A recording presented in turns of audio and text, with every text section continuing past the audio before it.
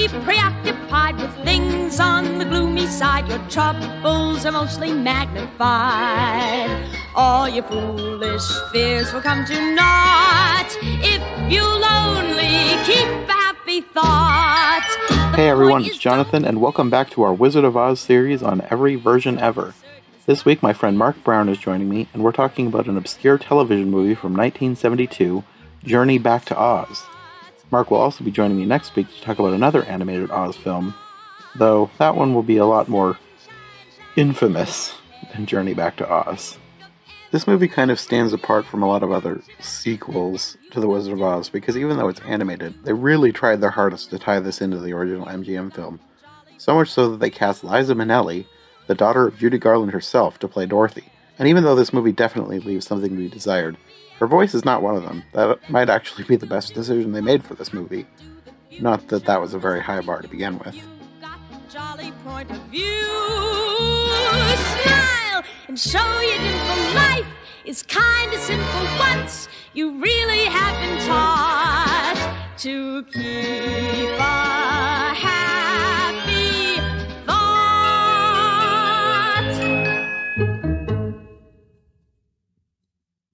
So, had you heard about this one before? Like, what was the reason for you choosing this one?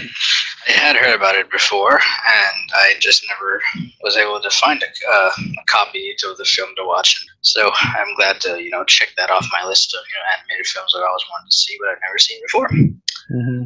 Yeah, although thankful might be a very particular word to use, which we'll probably get more into later. But um, Yeah. yeah, I had, I, had- I had, yes, I had, I was familiar about the film before. What about you? No, I I'm not even sure I'd heard of this. I mean, I knew that there were several Oz movies that were like like basically revolved around Dorothy going back to Oz, Okay. which I mean, that, that- I think that's one of the, my problems with a lot of these movies that they always want to be a sequel to the original original air quotes, the MGM version mm, because like I, I think I talked about this with both Eli and Rachel when we recorded their episodes. Nobody seems to be able to touch the original. Like they can't match how good it was. They just want to follow it up. And for me at least, I think all of these quote unquote sequels fall flat because they're a sequel to something that they're not actually a sequel to. You know what I mean? Because understand. they're trying to be a sequel to a movie that they're not a sequel to. Like they have nothing to do with the production of the original movie and they just they can't be their own thing. They try too hard to follow that one and they can't. it's like it would they would do a better job if they adapted one of the other like you know 15 books or whatever Or if you really want an Oz franchise, make your own Wizard of Oz. Mm-hmm. And I know it is very hard to touch the original and you probably can't, but you need to establish your own world instead of trying to build a world that you don't own, I guess. i understand i totally get that Because, like, the original book, it is very different from the movie. yes And if you made your own version and stuck closer to the book, it would set it apart from the other movie. definitely even something as simple as you know different characters like the field mice or whatever and the Yes. uh, the wooden what's it called clothes horse or there's there are other characters in the book in the the you know the, that first one that first book Yeah. that aren't in the 1939 film Yeah, even even to the point of Glenda. Glenda is two different characters in the book. A completely easy way to set it apart from the original movie. But they I for whatever reason they don't even want to try, I guess. Cuz there have been and like I don't know how many because I've only just really started researching in the past few weeks, but there are quite a few going back to Oz movies, like Return to Oz, Journey Back to Oz, The Legends of Oz, Dorothy's Return. and uh, those aren't even all of them. There's other ones too that are either in have been made or were attempted to be made or probably will be made. It's like they they want to go back to Oz when they weren't there to begin with. Mhm. I mean, I would say pretty much all of these quote unquote sequels are about Dorothy going back to Oz. Yes, and I think that's part of what hurts them is because they don't have the world built for themselves. Mhm. They're, they're just going off the fact that oh, everybody knows what the Wizard of Oz is. We don't need to make it again. But it's still a different interpretation of the story. Mhm. And you haven't set up your version of the world. Like one thing I liked about, I'm, I'm sure you'll, you'll probably be doing this later on in your series, but the Disney film Oz the Great and Powerful. I know that had you know a polarizing fan base, and I was one of the fans of the film. But I liked it because it showed us the prequel to The Mhm. Wizard of Oz. I mean, we, we have the the Wicked musical. In terms of a movie, this to me for me this was the first time I'd, I'd seen a prequel to the story that you Mhm. know would come to know and love. And I actually had a friend who watched this film, and he hadn't seen the 1939 film. So for me, I thought this would be a that would be a very confusing film to understand if you were not familiar with the 1939 film. But he ended up liking it. That's kind of interesting. Mm, I don't know that I would think to start somebody out with that one, but yeah, I mean, I don't think there's any barriers to entry in that. I, it is a prequel, but it's basically building their own version of the world of Oz, exactly. which is like exactly what I'm talking about. Like, build, establish your own world instead of building off of one that you never built in the first place. hmm You have the power to just start from not scratch, but I mean, start from their, your own roots. Yeah. But I guess today we're talking about Journey Back to Oz, right? Yeah. Sadly. I didn't know what to expect with this one. I was hoping for something decent, I guess. Mm-hmm. I mean, I've seen worse movies, but yeah. I've, I've I've seen a lot better ones too. Well, some of the positives I thought about this movie, like I was legitimately interested in like the first part of the film before the witch comes and takes over the Emerald City. From that point on to the end of the film was a train wreck to me. yeah, it, you're you're right. It just it really went downhill. like it started out decent, and then it just kind of got worse and worse and worse. Yeah, that the animation is really nice. I, uh, overall, I do like how most of the characters were animated. This is a studio called Filmation, which is, was even as animation fanatic as I deem myself. It's not a studio I was very familiar with, but I guess one of the founders and or one of the co-founders and or the co-directors of this film was actually a Disney animator at one point. So like you can clearly see like the, the scene with the elephants. You can clearly see animation that was from the Jungle Book, Oh, really? and especially the Stampede scene is literally straight from the Jungle Book or Robin Hood. Yeah, I did not notice that at all. Although I, that that might have been about the point where I was kind of falling asleep. So Yeah, it, that would make sense. It was around that annoying time. Like, oh my god, the sound of the elephants every time was so annoying. I was I that probably wasn't when I was falling asleep because I was the the sound of the elephants was driving me up the wall. It was the same sound on loop. Yes, Ridiculous. it wasn't even a pleasant sound. No. the shrill trumpet sound and of a elephant's tr- uh, tr- uh, trunk, but gosh, it was annoying. And it wasn't even it wasn't even their trunk because if you watch the animation, the elephants were screaming. they were not using their trunks to make that noise. this is a very annoying elephant army this witch created. Oh my word. It was ridiculous. I mean, that was definitely the most annoying thing about this film. Mhm. yeah. but a cool thing about this film, there's so many big names in the voice cast, especially for the time. You have Liza Minnelli, you have Mickey Rooney, uh, Danny Thomas, Jackie Leonard, hmm Milton Berle. And did you notice that Aunt Em was voiced by Margaret Hamilton? I did. I, I thought that was a very cool thing uh, to Yeah. do. She went from being the Wicked Witch to Aunt Em. I mean, that's that's what they do nowadays, right? Like if you remake, make a live action remake of Wizard of Oz, if it was a film of theirs, they would put the Margaret Hamilton as like Aunt Em or something. Uh huh. Yeah, that's what they do with like any, most of the superhero franchises. They have the original characters come back and make cameos as side characters or can or just cameos or whatever. Yeah. So I thought that was very that was a very clever. I like that. Yeah. There were little things that I liked about the movie, but overall I wasn't impressed. No, I mean there are a lot of characters I like. I like the new Pumpkinhead character and the uh, the carousel horse who has a cool he has a cool side quest. He's looking for a job. He's not looking for a heart or a brain or or the nerve. He just needs work. I'm wondering if, because as far as I can tell, this movie was based very, very, very loosely on The Marvelous Land of Oz, which is one of the few that I've actually read. Mhm. And I think that the horse was actually the sawhorse character okay. in the book. I think that he was actually the sawhorse. I don't think he was a carousel horse. They just made him carousel afterwards. Yeah, probably because it looks better. I don't know because the sawhorse is kind of just a bunch of woods nailed together in this rough shape of a horse. that can't be colorful. No, so I don't know if that's why they changed it or what. But Pumpkinhead was basically the same.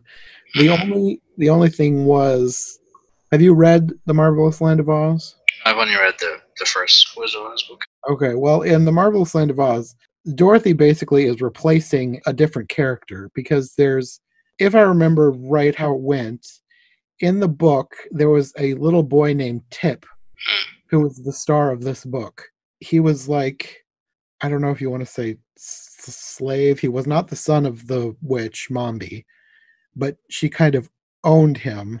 But then I think toward the end of the book, you find out that Mombi had, I don't remember exactly how it went, but somehow she'd gotten a hold of a princess of Oz and turned the princess into a little boy to hide her. So then at the end of the book, she turns Tip back into a princess and he becomes Ozma, who is like one of the main characters in the rest of the series. Okay, I'm familiar somewhat with Ozma. Yeah. So basically, Dorothy just took over the role of Tip slash Ozma completely. so I don't think I don't think Dorothy was in that book at all. Okay, Tip Tip was the character then. Yeah. I see. And the Elephant Army was not in the book. There was a different army. I don't remember exactly how that went. It's been a long time since I read the book. But the green elephants were something completely unique to this. Like I said, this was a very, very loose adaptation. They probably just wanted to reuse that animation from the Jungle Book.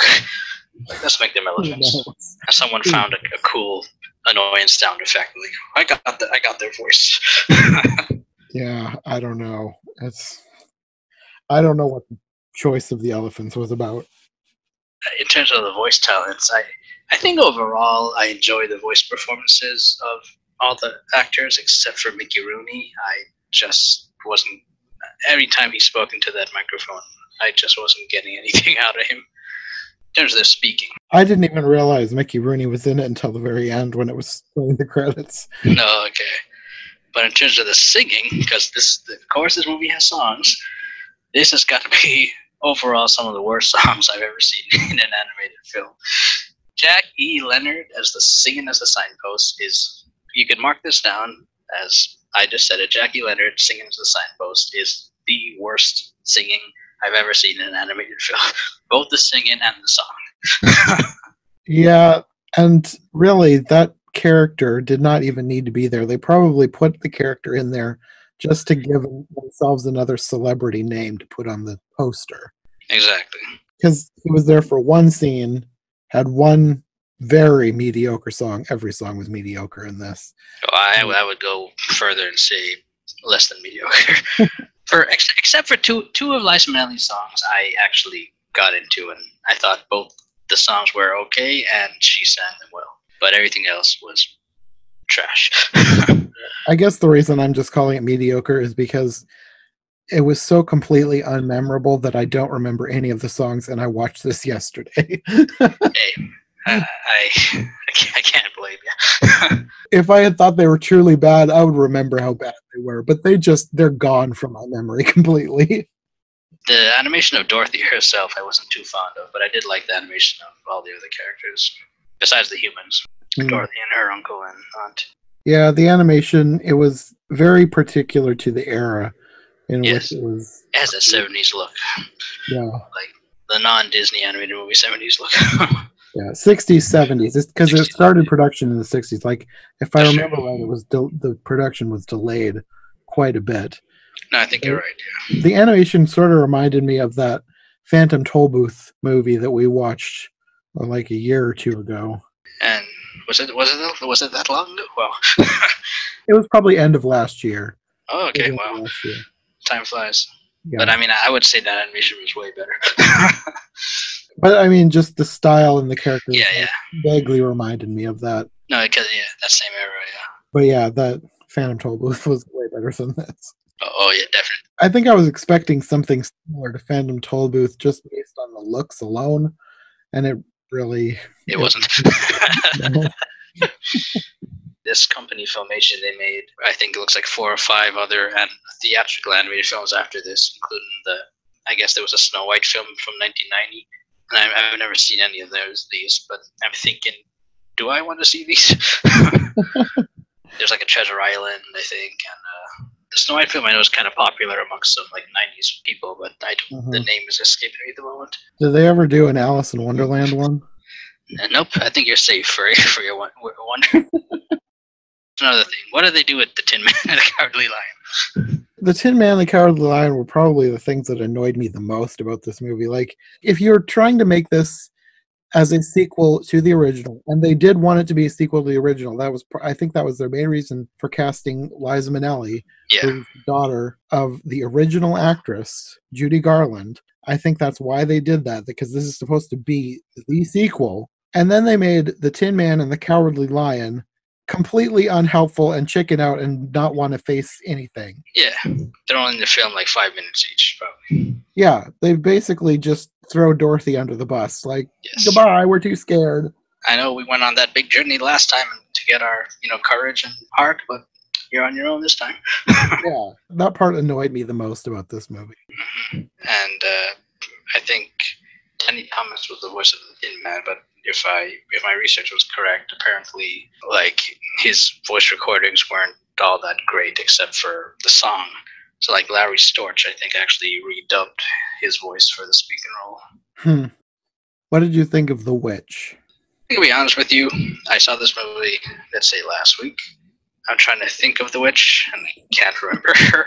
Which I, I remember. Okay, I know when you said her name was Mombi, that brought that brought back a memory, but I can't for the life of me remember what she looked like. I think the only reason that I remember that her name is Mombi is because I've read the book and I Yeah. remember the name Mombi. If I had not read the book, I don't think I would remember that her name was Mombi. Yeah, And she was just a very generic, one note, yeah, basic witch. and she was Ethel Merman, right? Uh, yeah. And I mean, I guess she did what she could with the part and she did a decent job. But with the script, she didn't have much to work with. And So, she's just as forgettable as the rest of the movie. mm, yeah, I forgot her. I don't remember what her driving force is in the book. Maybe it's the same as here, but basically, she just wants to take over. Just just because. Yeah. yeah, it's the most generic villain theme ever. She just wants to be the ruler. That's it. Except she thinks that having a herd of green elephants will somehow make this work for her. Gosh. I'm gonna hear that elephant sound forever. Not. And I don't. I don't even remember how did Dorothy get back home. I forget. you know what's hilarious? Uh, When I was waiting for you to come in to the chat here, I was looking through my notes and I was like, wait a minute, I didn't write the end. How did she get back? And then I had to go watch the end of the movie. how she got back because it was so it was over in a second. The movie basically just abruptly ended. Glenda conjured a tornado to send her back. That's it. Oh wow. I really. Yeah. That didn't stay in my mind at all. No. It's so forgettable, which is really disappointing. Yep. I'm glad. I'm not glad. I'm. What's the worst. I'm glad that I saw it finally, so I don't have to see it again. Let's put it that way. Yeah. It's definitely it's not my my least favorite Wizard of Oz film that I've seen, but it, it it's annoying and frustrating. Yeah. It very boring, very Yes. basic, very like it's not even it wasn't really even fun in any part of it. Even the parts where it was like mildly amusing, it was Yeah. only mildly amusing. Like I can't really recommend this to anyone because it was just so boring. The only reason I would recommend it is if people they're fans of like the golden age of Hollywood and they want to hear Milton Berle voice Yeah. the lion for five minutes.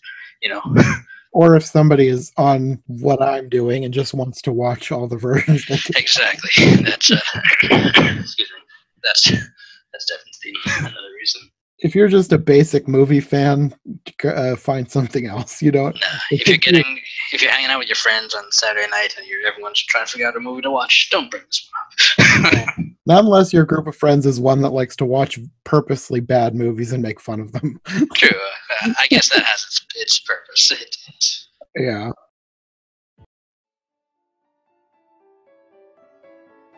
Thanks for listening to this episode of Every Version Ever. If you like what you've heard, don't forget to subscribe on whatever platform you prefer, and of course, make sure to follow my co hosts as well. Any relevant links will be in the description for easy access, and we'll see you soon for another brand new episode of the show. Thanks for listening, and we'll see you next time on Every Version Ever.